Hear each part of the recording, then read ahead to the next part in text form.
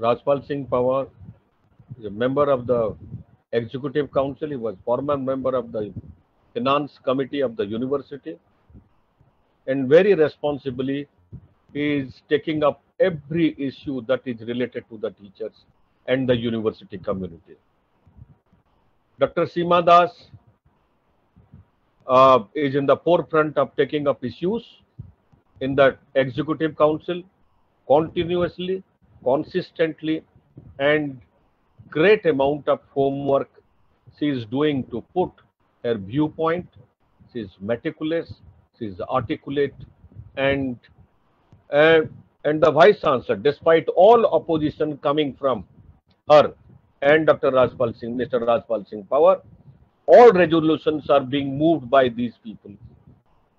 And but the vice chancellor in the last last to last executive council meeting mentioned that Dr. Seema Das makes a very good case for the university and university teachers.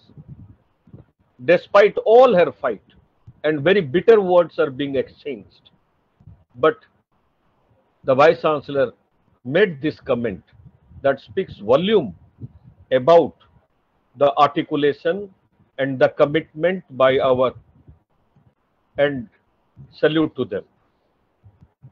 They stand there in the executive council for the teachers, for the cause of academics, and for the best interest of higher education.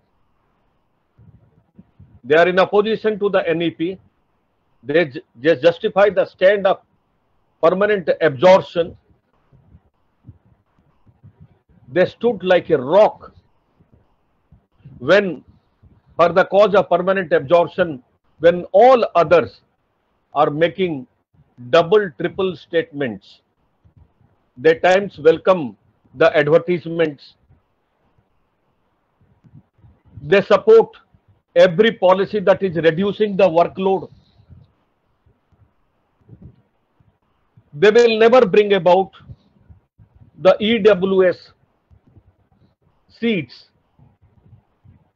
so that a justifiable distribution can take place. And in, even in the executive council, they are taking stands which is contrary to the interest of the ad hoc teachers. And at the same time, Dr. Seema Das and Rajpal ji having standing like a rock in defense of ad hoc teachers. Now, who has given some people some legitimacy to welcome when this is the DUTA General Body's resolution to ask for permanent absorption of every teacher? Where is the point of any discrimination that are after a particular age, eh, are after a particular years of serving, or that who has given them this this sanction? This is going to spoil our case. And in this whole process, nobody will be benefited by. और ultimately ये सबका cause को नुकसान करेगा ये तय बात है दुख होता है इन सारा चीजों से जब एक कॉलेज जो दिल्ली विश्वविद्यालय का है कॉलेज ऑफ़ आर्ट्स जो फंडिंग तो ठीक है और governance and maintenance is being done by the Delhi government लेकिन दिल्ली यूनिवर्सिटी को ही एफिलिएटिंग स्टेटस है and our friends from not today from long time they have taken quite a great lot of interest. Both Rajpal ji, Seema Das ji, Rajesh Jha, Anand, everybody, they have been taking quite a lot of interest, going to every place that is possible to save this institution. And yesterday also I was told that they have taken a good stand on this issue and a couple of many more issues.